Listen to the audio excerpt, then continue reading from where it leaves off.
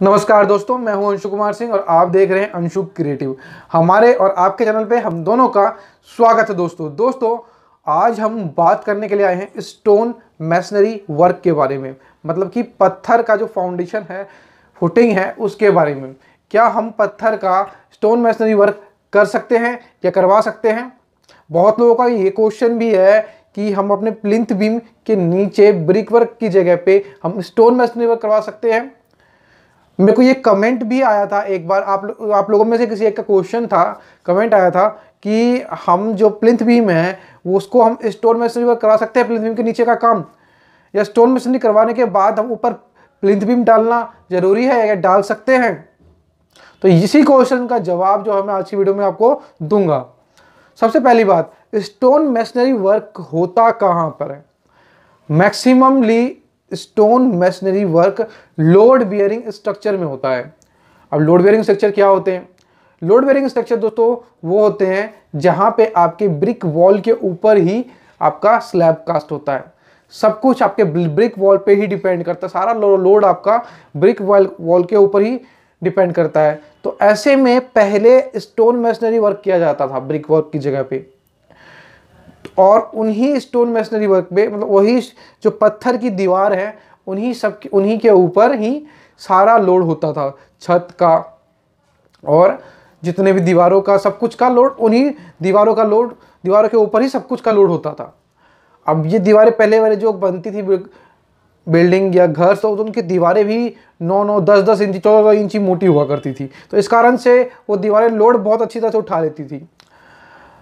तो इस कारण से जो मैक्सिमम यूज़ है स्टोन मैशनरी वर्क का, वो लोड बियरिंग स्ट्रक्चर में किया जाता है। अभी भी बहुत जगहों पे गाँव घर में खासकर देखा गया है कि वहाँ पे स्टोन मैशनरी वर्क कराया जाता है। स्टोन मैशनरी वर्क वहाँ तक के लिए तो ठीक है, जहाँ पे आपको ग्राउंड फ्लोर बनाना है, बस ख़त्म काम। ग्राउंड फ्लोर बना करके उसी का यूज़ करना है, उसके आगे वो आपको ऊपर नहीं बनाना है, तब तक तो बात एकदम ठीक है, आप बनवा सकते, कोई दिक्कत नहीं है।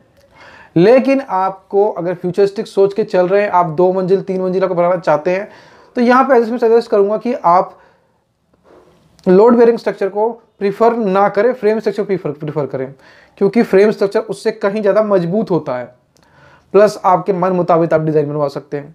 लोड बेरिंग स्ट्रक्चर की बात तो छोड़िए, यहाँ पे लोड बेरिंग स्ट्रक्चर तो मेन बात है कि स्टोन मैशनरी वर्क हम प्लिंथ बीम के नीचे करवा सकते हैं, नहीं करवा सकते हैं। प्लिंथ बीम के नीचे हमें स्टोन मैशनरी वर्क अगर आप सिर्फ़ लोड बेरिंग स्ट्रक्चर बना बनाना चाहते हैं, तभी आपको करवाना चाहिए। स्टोन मशीनरी वर्क तभी आपको करवाना चाहिए आप लोड बेरिंग स्ट्रक्चर बनवाते हैं। और यहाँ पे स्टोन मशीनरी वर्क होता कैसे है?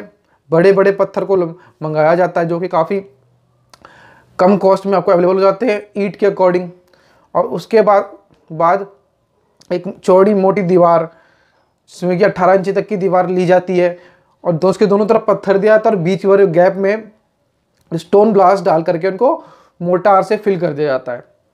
तो इस हिसाब से स्टोन मशीनरी वर्क होता है। स्टोन मशीनरी वर्क करने से घाटा ये है कि अगर आप कॉलम दे रहे हैं अपने घर में, कॉलम दे रहे हैं तो वहाँ पे स्टोन मशीनरी कवर करने में बहुत ज़्यादा दिक्कतें होंगी। कॉलम दे रहे हैं फुटिंग फाउंडेशन दे रहे हैं तो वहाँ पे स्टोन मशीनरी वर्क करने में आपको बहुत ज़्यादा दिक्कतें होंगी।